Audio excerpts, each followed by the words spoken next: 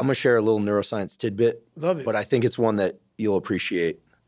Um, most people don't know this, but there's a brain structure called the anterior mid-cingulate cortex. As we pointed out before, that's a noun. It's a name. It doesn't mean anything. We could call it the the Cookie Monster. right.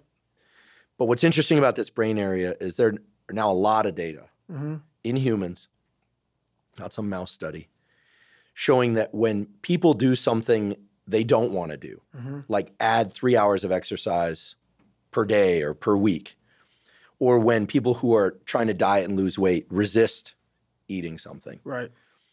when people do anything that they, and this is the important part, that they don't want to do. Right. It's not about adding more work, it's about adding more work that you don't want to do. Yes. This brain area gets bigger. Yep. Now, here's what's especially interesting about this brain area to me. And by the way, I'm only learning this recently Mm-hmm. because it's new data, but there's a lot of it. The anterior mid cingulate cortex is smaller in obese people. Mm-hmm. It gets bigger when they diet. Mm-hmm. It's larger in athletes. Mhm.